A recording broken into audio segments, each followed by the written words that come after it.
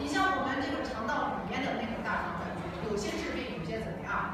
不治病啊。这些细菌呢，我们说了，反而是对机体有利的，能够维持我们正常这个呃外的这个异物啊，能够吞噬掉。另外呢，我们说了，还对这个一些这个食物的消化起到一定的作用啊，能够促进这个营养物质的平衡吸收。那你破坏这个正常菌群了，人的抵抗力下降。